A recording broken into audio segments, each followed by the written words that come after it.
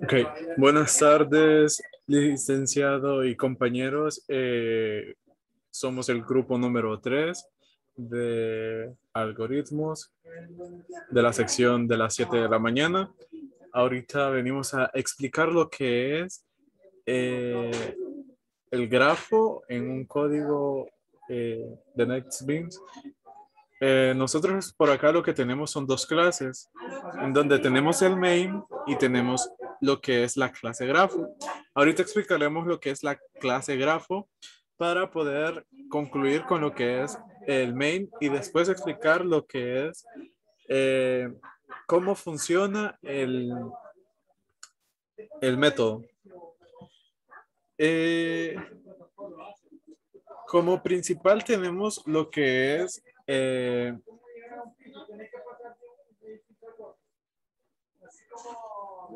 esta función en la cual se llama grafo. Esta función lo que hace es que adquiere el, el número eh, de posición en la cual nosotros queremos el arreglo. Por ejemplo, si queremos una matriz de 3x3 en la cual esta está destinado a que pueda imprimirla.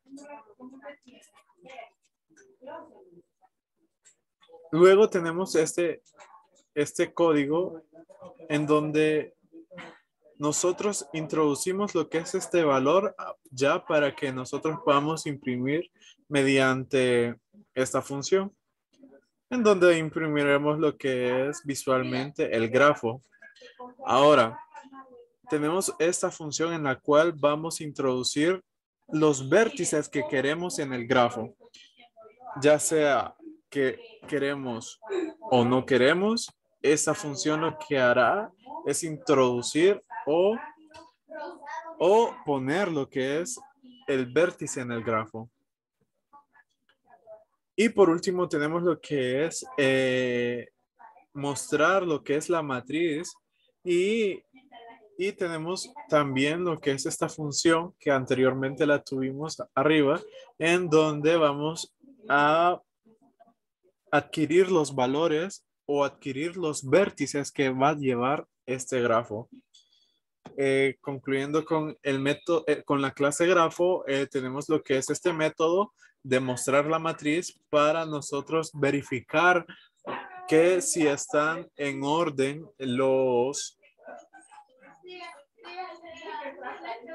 si están en orden los datos que hemos introducido.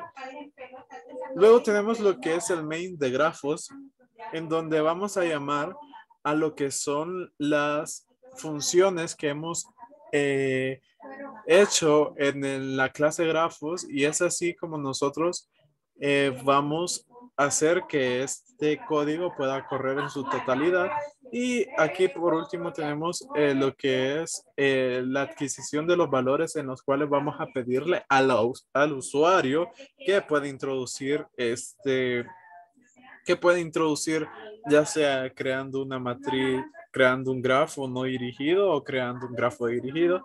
Y tenemos la opción de salir.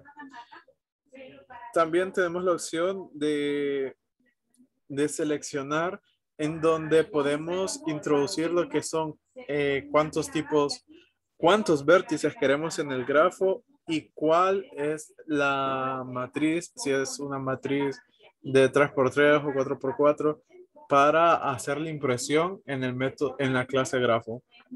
Ahora vamos a hacer lo que es ejecutar eh, este, este este programa para que podamos ver y comprobar que este es verdaderamente cierto.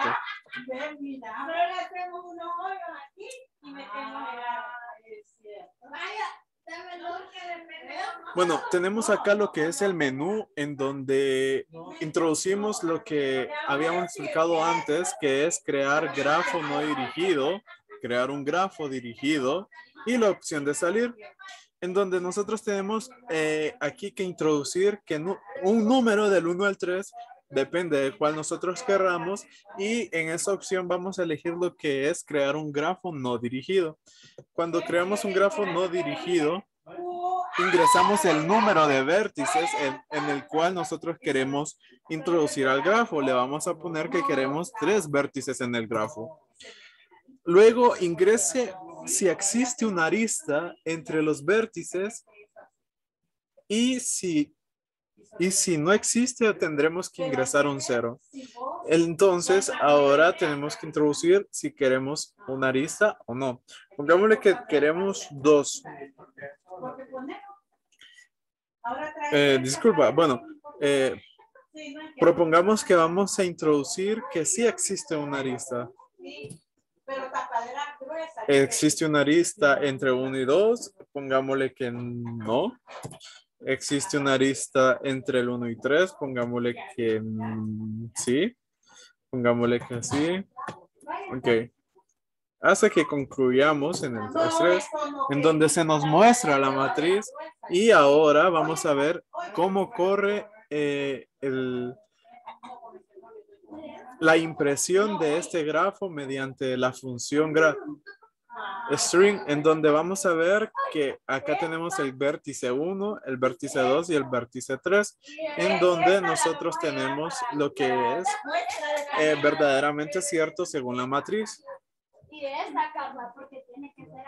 Ahora, probaremos otra vez con lo que es una matriz no, con lo que es un grafo dirigido para que podamos concluir a ver si funciona este, este programa. Ok, haremos lo que es crear un grafo no dirigido. El grafo no dirigido, tenemos que encontrar el número de vértices. ¿Cuántos números de vértices queremos? Pongámosle que cuatro. ¿Existe una arista entre los vértices? Sí o no. En esta ocasión vamos a comprobar que este código funciona en el cual vamos a introducir un límite, un número fuera de los límites que eh, nos están pidiendo, que solo está entre el 1 y el 0. Vamos a poner un 2 a ver qué nos puede imprimir en la pantalla. Pongamos un 2 y se nos ha dicho que el valor es entre 0 y 1. Entonces concluye que hasta que nosotros introduzcamos un valor entre el 1 y el 0, eh, nos va a arrojar lo que es la adquisición del valor del el 1 entre el 1. Entonces, ahora probaremos con un 3. Y nos vuelve a arrojar lo que es el valor es 0 o 1. Entonces, ahora ya comprobado esto, empezaremos otra vez de nuevo con lo que es el, el procedimiento de la matriz para luego concluir con el gráfico para que nosotros podamos determinar y por último haremos lo que es eh, la opción de salir.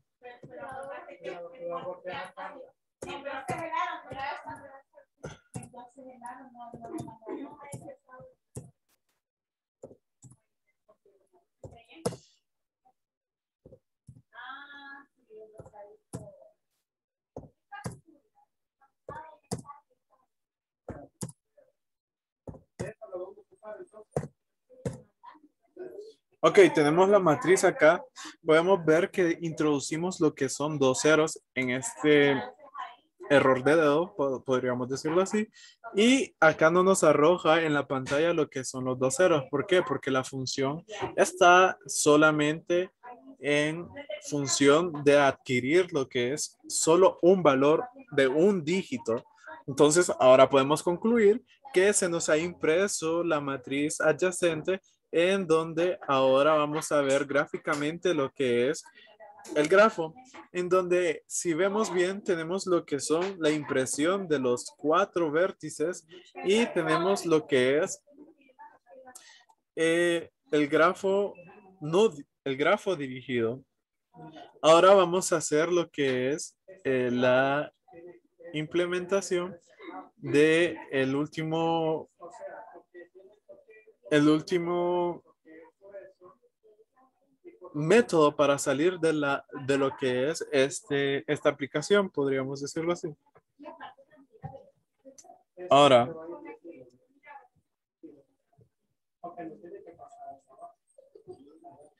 haremos lo que es eh, esta implementación y vamos a ver cómo eh, nos resulta. Eh, tenemos el menú en donde vamos a elegir lo que es el número 3 Antes de ello, quiero probar eh, poniendo otro número que está fuera de esos límites. Eh, de un solo, el, lo que es el programa cierra porque la opción no es válida. Es como obtener un autocierre ya que hemos puesto mal lo que es eh, el número.